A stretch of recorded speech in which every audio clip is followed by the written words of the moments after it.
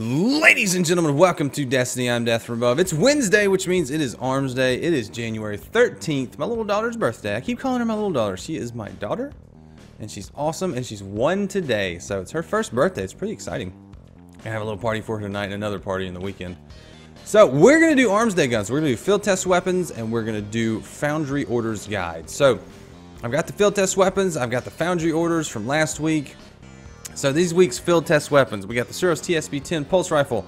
Gotta use it against Vex. You're gonna have to kill 25 Vex with this Pulse Rifle. Which kind of sucks. It's not too bad, but uh, you can get it done pretty quickly. I always go to Venus in the, in the middle section. Uh, there's usually less people and more Vex, so it's not too bad. That guy's really chasing me. You are really chasing me, sir. Have a grenade. So we did one. I think you got to do 25. Yep, 4%. So it's 25. Uh, then we have the Suros TSA-10 auto rifle. This one you just have to make precision kills. Uh, same for the Hakke Test A pulse rifle. Just got to make precision kills. Uh, and then the other two are Crucible test weapons, and they're the same as last week. You have the fusion rifle, the Omolon Omolon Test FR1. Crucible kills, you got to get 10 Crucible kills or assists. And then the same for the rocket launcher, the Suros TSR-10. I think this one you have to get kills. Uh, so it's, it's, Crucible, you gotta get 10 kills with this rocket launcher. So those two should be fun. Uh, go on in there and have fun with that one. Because I know I'm gonna. I only finished it on one of my characters last week, so two of my characters are not gonna be able to even repeat that this week. But enough of that. Let's get to the Foundry orders from last week and my recommendation. So we're gonna start off with the Strongbow D shotgun. Um, is one of the ones you could order from last week. Now, I picked up the third option, and there's only one reason, because it has lightweight. Um, all the perks were kind of meh. This is a higher rate of fire, lower impact shotgun. So I figured it'd be good for PvE with Army of One, Battle Runner, and lightweight. Um, you did not, you did not just, sir. Oh, I'm gonna get him. Oh, I'm gonna get him. So we're gonna go ahead and fire off this shotgun. Show you the rate of fire. It's pretty, pretty quick rate of fire for a shotgun. Hi there. Oh, you were doing it. Nice. Uh, next, we have the Tamar D Sniper Rifle. This is a mid-impact, mid-rate of fire. It can't res snipe, but it's going to be really good in PvE.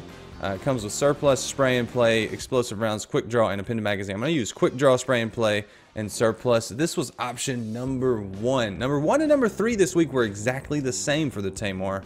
Uh, the second one was really stupid, I thought, so I didn't even get it. But uh, it's pretty easy to shoot, pretty, pretty low recoil kind of like it. It's on PlayStation right now, so it's good that I have a new sniper rifle. I needed a sniper. Uh, I picked the ARC one. I picked the first one just because it was ARC. That was the only reason I picked it. I figured it'd be good for shooting captains in the face on PlayStation. So, next and finally, for the ones that I actually picked up last week, we have the Suros PDX 41. Now, I have a really good PDX already, but uh, I picked up this one. And I picked up the first option. It comes with hammer forged, oiled frame, spray and play, lightweight, and handling stock. I figure I get the range, the reload, and the uh, stability out of this one, so it's really, really good. Um, my other one's got counterbalance, uh, high caliber rounds, and small bore, so it's really good too. Uh, the one from Arms Day will have a little bit more stability, uh, about the same range, so it's going to be really stable, pretty good. Uh, the recoil pattern is not going to be as uh, as straight, but it'll be easy to use. So here's how how it fires. Pretty good shooting gun. I always like the 41. Oh, that's a lot of dudes. a grenade. Boom! So the two filled or the two foundry orders that I didn't pick up last week were the Suros JLB 42 and the Suros JLB 47 rocket launcher. They are rocket launchers. He sold them the week before, so I got two of the same uh, foundry orders. And I figured I could pass on those this week because I got a good one last week. I've got some good rocket launchers. I don't really need another one. Uh, PlayStation, I've only got one character that can pick up Foundry orders. So he's uh, he's full. He'll be full again this week, and uh, we'll do it that way. But if you want one of those rocket launchers, go with the option that gives you the most velocity and impact, and either has tracking or grenades and horseshoes. If it doesn't have tracking or grenades and horseshoes, I would think about holding on to it until next week, and then seeing if next week you get a different roll. So that's what I think about those two rocket launchers. I think the 42 has a little bit lower velocity than the 47. But other than that, yep. Uh, that's about all for these this week. Let's go back to the tower and we will take a look at next week's Foundry orders. I'll give my recommendations and we'll talk about it. So I will see you there. All right, guys, we are back in the tower. We're going to take a look at the Foundry orders for next week, give my recommendations, talk about it, and kind of an order I think you should purchase them in. But it's all my opinion. Do what you will. So we're going to start with the Hakke Zarinaea D auto rifle. It is a uh, mid-rate of fire, mid-impact auto rifle. On paper, it doesn't look amazing, but once you use it, if you get the right stats and perks, it's um, it's pretty much. I was going to say amazing, but I use amazing a lot, so I'm going to say it's very nice.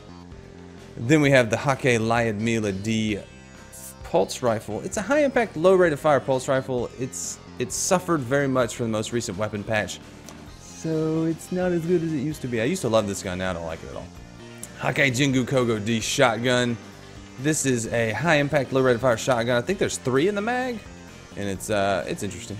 Hakke Wave Rua D sniper rifle. I butchered that name, but it's a sniper rifle. They're both the same for Hakke. They're mid impact, mid rate of fire. They can't res snipe.